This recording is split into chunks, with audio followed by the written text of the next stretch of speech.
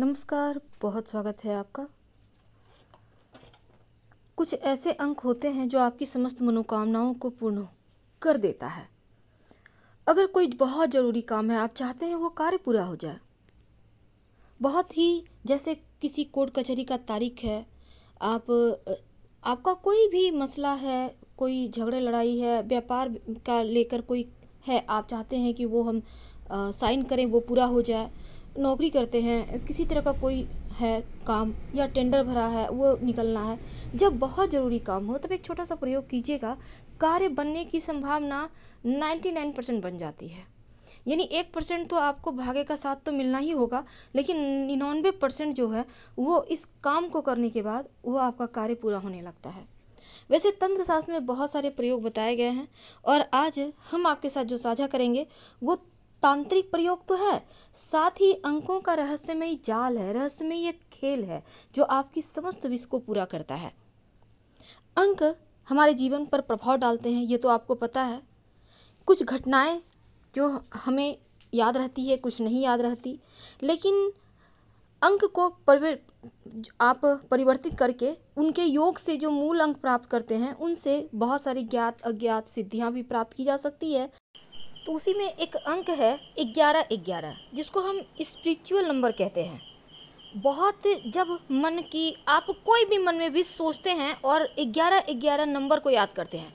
अब मान लेते हैं, जैसे कि ग्यारहवा महीना होता है नवंबर और ग्यारह तारीख आ जाए, उस दिन आप जो भी करेंगे, जो दिल से करेंगे, जो भी कार्य में हाथ लगाएँगे, वो कार्य पूरा हो जाएगा।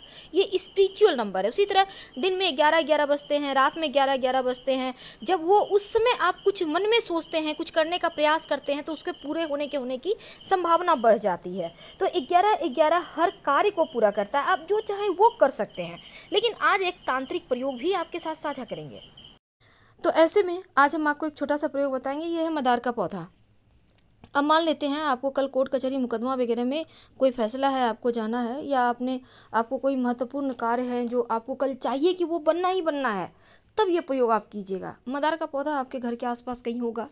आप देख कर पहले से रखिएगा। और दूसरा, ये तंत्र, तांत्रिक प्रयोग है। याद रखिए, ये तांत्रिक प्रयोग है।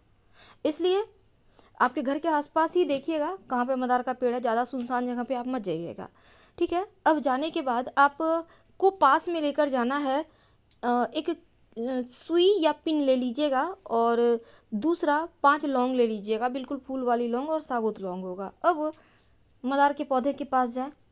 अपनी रिंग फिंगर, जिसको हम अनामिका उंगली कहते हैं, उसमें से सुई को या पिन को चुभोए और उसमें से जो रक्त निकले, उससे मदार के एक ही पत्ते पर लिखना है नाइन, नौ गुना तीन गुना पाँच। अब लिखने के बाद उसके नीचे अपना नाम लिखिएगा। जहाँ पर आपने अंक लिखा ना, उसके ठीक नीचे अपना अंक, अपना नाम लिखिए। आपका जो भी नाम है, आप महिला हैं, पुरुष हैं, और पाँच लौंग चारों तरफ़ से आप कुछ इस तरह से उसमें चुभो दें कि वो जो आपका आपने जो नाम लिखा है, जो अंक लिखा है, वो जैसे नहीं फटे। वो क्लियर रहे और चारों तरफ़ अच्छे से, सावधानी से लौंग चिपो दें। फिर अपनी कामना कहें। याद रखिए, आपने जो रक्त निकाला है ना थोड़ा सा रक्त, उसी से बस नियम करना है। ज़रूरी नहीं है आपको डार्क लिखना। एक बार थोड़ा सा चुभो कर निकाल लें और उसी से फटाफट फटाफट से लिख लें। हल्का भी लिखाया है तो भी हो गया, आपने नियम कर लिया। अब ये प्रयोग करने के बाद आपकी जो भी, जो बहुत अर्जेंट काम है। उसके बारे में वहाँ पर आप पौधे से बोल दीजिए कि मेरे को ये काम है, हम चाहते हैं वो पूरा हो जाए और घर चले आइए, मस्त होके सो जाइए। अगले दिन जब आप उस कार्य को करने जाएँगे तो वो कार्य आपका बन जाएगा। इसकी संभावना ज़्यादा बन जाती है। और जब आप ये प्रयोग करके वापस अपने घर आइएगा तो पीछे मुड़कर मत देखिएगा। कोई कितना भी बुलाए, कुछ भी बोले, कुछ नहीं।